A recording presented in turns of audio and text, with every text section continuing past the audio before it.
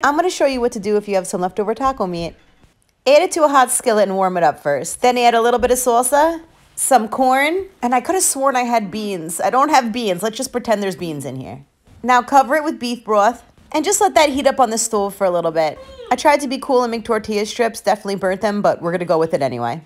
Now just take your taco soup, add it to a bowl, add some shredded cheese to the top, a little bit of sour cream, and those extra crispy, we'll call them tortilla strips.